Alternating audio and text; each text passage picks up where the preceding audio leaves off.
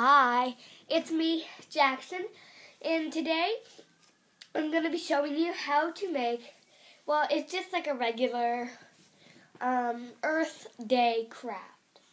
So, what you'll need is a coffee filter. You'll need a lots and lots of paper, just like a notebook or something. You'll need green and blue Sharpie markers or regular or regular markers. And that's it. So, what first what you're going to do is you're going to take your coffee filter and you're going to push it down. You're going to put it upside down and you're going to push it. So it's flat and it's going to go like this. That's fine. Is totally fine. So now, smooth it out a little. What you're going to do now is you're going to take your green Sharpie marker and you're going to draw the continents because you're drawing an earth. So,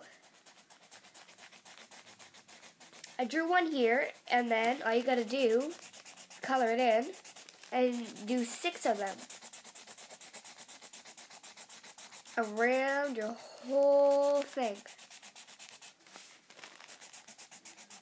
Okay?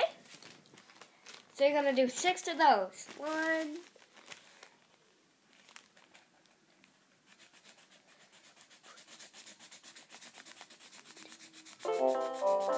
Sorry.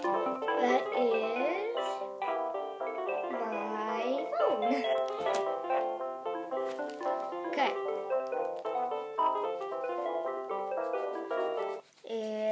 If it goes again, it's my friend. Sorry. Okay, so I got three.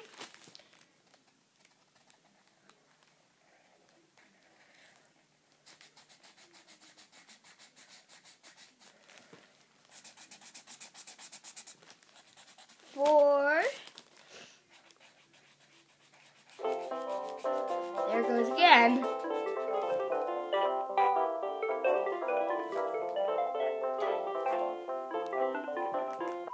Hello?